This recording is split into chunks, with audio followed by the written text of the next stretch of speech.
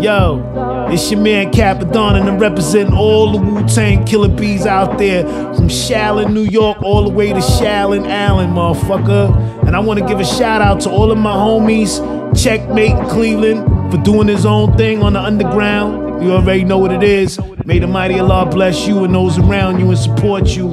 And yo, all y'all whack ass, sugar coated, bubblegum rapping ass niggas, y'all need to set the fuck down, man. Word up. And let these real motherfuckers do this mic dirty, nigga. And y'all niggas bow down to the real MCs. And remember, Wu Tang is forever, motherfucker.